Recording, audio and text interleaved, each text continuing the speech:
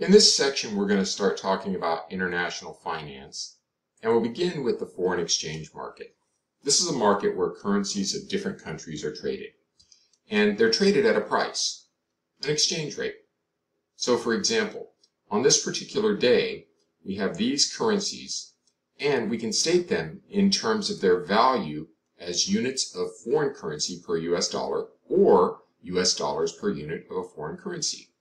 These are really just different angles for looking at the same thing. For example, let's say you were going to travel to Japan, and on this date, you went to exchange your dollars for yen so you can shop uh, and do business in Japan. Well, you'd find that for every dollar that you hand over, you're going to get 111 units of the foreign currency, which is yen. Alternatively, another way of looking at that is for every yen, you're going to pay just under one penny, 0.009 US dollars.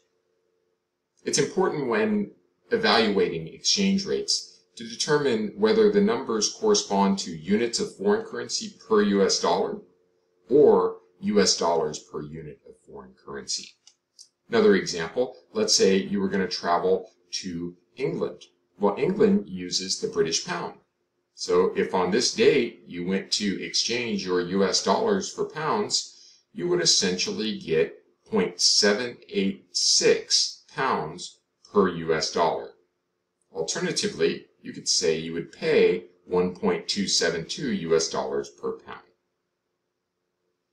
These numbers are reciprocals of each other, which means if you take, let's say, 0.786 and divide that into 1, so 1 over 0.786, you'll get this number here. If you take this number here and divide it into 1, so 1 over 2 point, or 1.272, you'll get this number. So it's an easy conversion to go from one angle to another. When we enter the foreign exchange markets, what we're really doing is participating in two separate markets.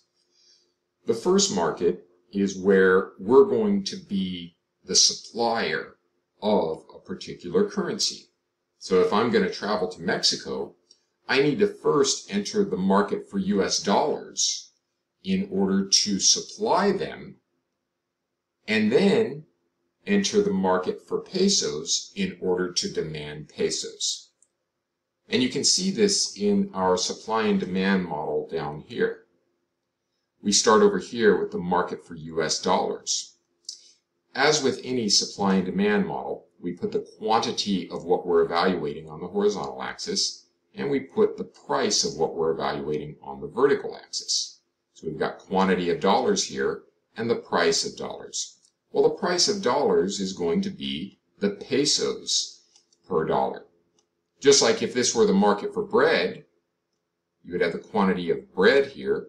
The price of that bread would be how many dollars you would give up if you're buying bread or how many dollars you would get if you were selling bread. Dollars would be the price of bread. Here we're looking at dollars, so pesos become the price of dollars. If you are buying pesos, you have to give up dollars to get them. If you are selling pesos, you will get dollars. This gives us a demand curve and a supply curve for dollars. Now, the demand curve is downward sloping because it's always inverse to price, meaning that as the price goes up, people demand less. As the price goes down, people demand more. The supply curve is always upward sloping, representing a positive relationship between price and supply. So as the price goes up, people supply more. Price goes down, people supply less. Both curves intersect at what's called equilibrium. Equilibrium is where markets, when left alone, naturally gravitate. We'll see this more in a minute. But understand, in this particular market for dollars, the equilibrium is 10 pesos per dollar. At 10 pesos per dollar, you'll note that the supply and the demand equate, which means the exact number of dollars are supplied that are demanded. And that's what we want to see. because we don't want more supply than people want to buy, demand, and we don't want too little supply compared to what people demand. We want it to be just right. Now, this is the market for dollars, but we can create a simultaneous market for pesos over here. This is a foreign exchange market, so we're always participating in both markets. And we're going to see quantity of pesos on the horizontal and the price of pesos. Well, the price of pesos is in dollars. Notice the pattern here. Dollar market is denominated in pesos. Peso market is denominated in dollars. If we had the bread market, it would be denominated in dollars.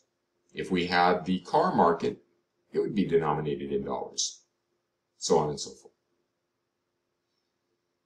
The supply curve for pesos is upward sloping. The demand curve for pesos is downward sloping. They come together at an equilibrium price, exchange rate. In this particular market, we have 0.1 or 10 cents per peso. Notice something here. These markets are related. We're always participating in both. And as a result, the equilibrium price for pesos, which is 10 cents, is the reciprocal of the equilibrium price for dollars, which is 10. 1 over 0.1 is 10, and 1 over 10 is 0.1, consistent with what we learned a minute ago. Remember, two different angles for looking at the same thing. Now, let's understand the process of engaging in these markets. Let's say there is U.S. demand for Mexican goods. In other words, you want to travel to Mexico or you want to buy something from Mexico. Well, what that's going to do is it going to, it's going to create a demand for pesos. You got to get the pesos to buy the goods. That is where this demand curve in the peso market comes from. But that simultaneously creates a supply of dollars in the market for dollars. You have to supply your dollars to get those pesos. So you'll notice that the supply of dollars in the dollar market is connected to the demand for pesos in the peso market. We supply dollars to demand pesos to buy things in Mexico. Similarly, if there is Mexican demand for U.S. goods, this is going to create a demand for dollars, a demand for U.S. dollars. Of course, for those Mexicans to get those dollars, to demand those dollars, they have to supply pesos. So the supply curve is connected to the demand curve for dollars in order to buy U.S. goods. Mexicans supply pesos to demand dollars to go shopping in America. Once you understand this, then we can start to apply our um, markets to the real world. And we'll do that more in a minute. But before we get there, let's talk about how exchange rates will change over time based on the supply and demand.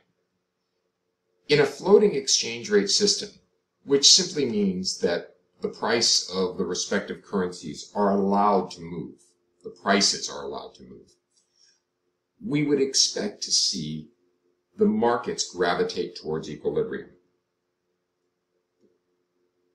For example, this is the market for dollars, quantity of dollars traded on the horizontal.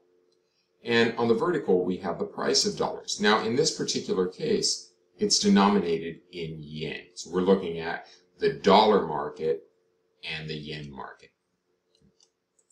To understand this, let's take a look at equilibrium. Well, at 120 yen per dollar, the supply equals the demand. That's where, as I said, the market will gravitate. But let's just imagine for a minute that, in fact, the current exchange rate is not 120. Let's say it's 150 yen per dollar. Well, this creates a bit of an issue because at 150 yen per dollar, you'll notice that the supply exceeds the demand. At that high exchange rate, the suppliers of dollars, Americans for the most part, are going to be getting a lot of yen. So they're going to want to supply a lot of dollars. Demanders of dollars, in this case, primarily Japanese, they're going to have to pay a lot to get those dollars, 150 yen. So they're not going to want to demand as much. So the result is a surplus of dollars. Now, you probably know that anytime there's a surplus of a product in a market, it drives prices down. If you go to the store and you see there's inventory of a particular product just spilling off the shelves and no one's buying it, eventually the business lowers the price to get those units sold.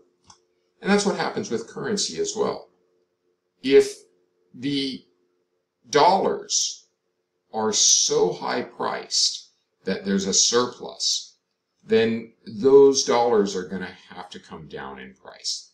And as that happens, as we go from 150 yen to 149 to 148, you'll notice the gap between these two lines, the difference between supply and demand gets smaller and smaller until we reach equilibrium.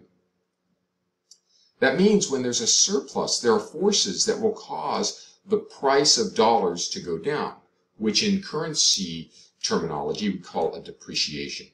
The dollar would depreciate when we have a surplus, and it would depreciate in this case from 150 to 120. That makes the dollar a weak currency when there's a surplus because it's going to lose value as it moves from 150 to 120. In contrast, let's start at 100. Let's say for one reason or another, the exchange rate is 100 yen per dollar. Well, that sends a signal to suppliers to not supply many dollars. Americans don't want to supply a lot of dollars because they're only getting 100 yen for them. But that sends a message to the demanders of dollars, the Japanese, to buy a lot. It's cheap. This creates a shortage of dollars. Demand exceeds supply. Now again, you've probably seen when there's a shortage of a good, prices tend to go up. And that's what's going to happen. The price of dollars is going to start to move up to 101, 102, 103, all the way up to equilibrium 120. In other words, as the price goes up because of the shortage, the gap between supply and demand is going to get smaller and smaller until it's gone. When this happens, we would see the dollar appreciate. Price of dollars going up is the same as appreciation, which would make the dollar a strong currency. It would be gaining value. Notice the pattern here. Whenever there is a disequilibrium in the form of a surplus or a shortage, exchange rates change, ultimately bringing about an equilibrium in that market.